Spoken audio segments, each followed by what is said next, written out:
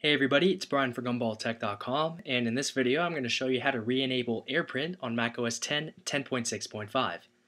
And Apple removed the AirPrint feature from the final version of 10.6.5 at the last minute it seems, but luckily it was available in the developer editions.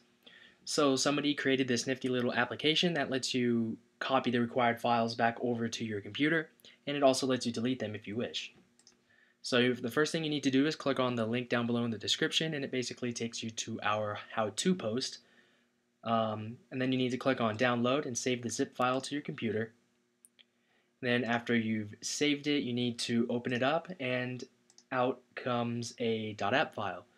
Now here you see my iPad simulator and I'm going to go ahead and show you that no printer shows up when I want to print something. And then right after I get all of this set up, it'll immediately show up. So what you need to do now is open up the AirPrint Hacktivator application. And you have two options, Hacktivate, which lets you enable AirPrint, and Dehacktivate, which removes the files.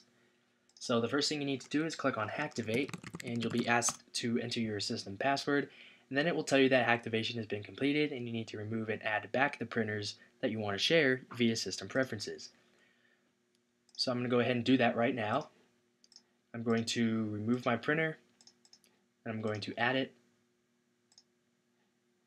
Then I'm going to go over to my sharing preferences and make sure that this printer is checked. And you can see right here immediately that my printer popped up and I could print to it if I wish. So that was just a quick tutorial on how to enable AirPrint on macOS 10.6.5. Uh, nobody really knows why Apple seemed to have removed it, but they did, and this is a free and quick way on how to get everything going.